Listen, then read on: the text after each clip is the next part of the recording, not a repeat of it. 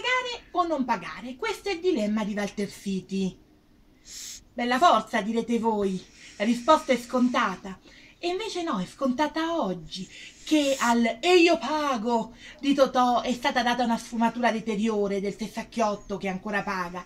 Nel passato, invece, aprire il portafoglio pieno di banconote fruscianti, cacciarne tre o quattro aperte, era il simbolo della persona realizzata che poteva chiedere per sé il meglio.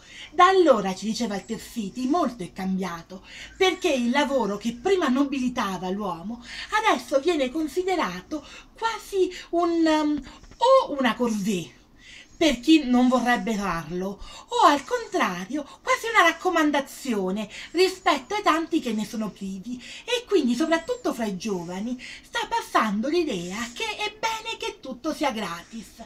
Ma è davvero gratis quello che viene dato free, si chiede Walter Fiti perché non consideriamo i costi sociali di certe scelte?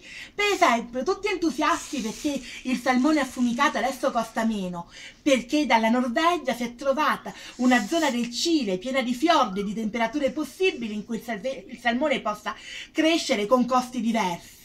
Ma quel salmone, o almeno l'industria legata al salmone, rilascia delle scorie che alla lunga alla popolazione faranno male.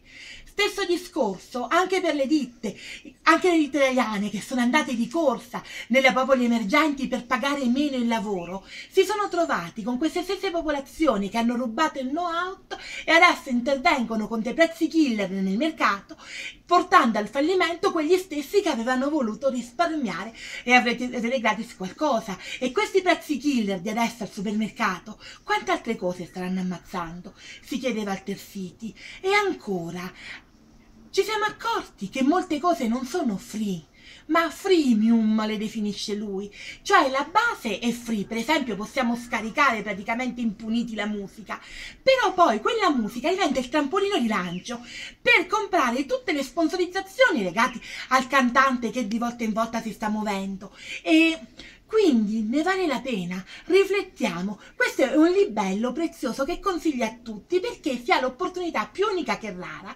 di leggere quelle cose che l'intelligenza ficcante e lo stile perfetto di Walter Fiti rendono indimenticabili e ti cambiano la concezione che hai tu stesso del pagamento, senza dover arrossire pagina dopo pagina per quelle tematiche solitamente sconce che sempre, secondo me, infangano un po' i libri di Walter Fiti gli altri